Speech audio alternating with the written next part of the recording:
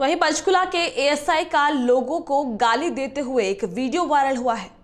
ASI एक महिला और अन्य लोगों से बात कर रहे हैं। इस वीडियो में साफ़ देखा जा सकता है। आपको बता दें कि बीती 27 फरवरी को पंचकुला के सेक्टर 28 की दो महिलाओं के आपसी झगड़े का एक मामला सामने आया था, जिसमें एक महिला ने दूसरी महिला पर हमला कर बुरी तरह से घायल कर दिया था।